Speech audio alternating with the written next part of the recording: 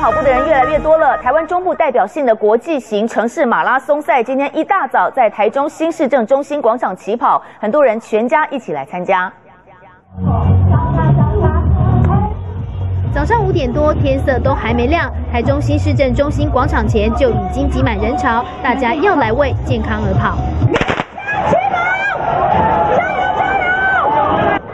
台中市长胡志强出席鸣枪，由健身器材公司所主办的国际马拉松邀请赛，经过国际田径总会 IAAF 路线认证，也是台湾中部代表性的国际型城市马拉松赛。二十七国一万多名跑者参赛，还有五百多位选手挑战生涯第一场全马。我们是绕着我们台湾大道，然后跑台中市。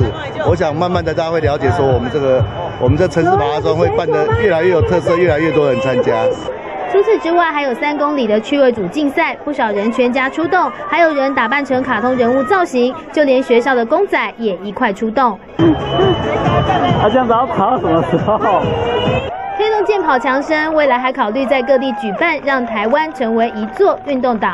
记者台中综合报道。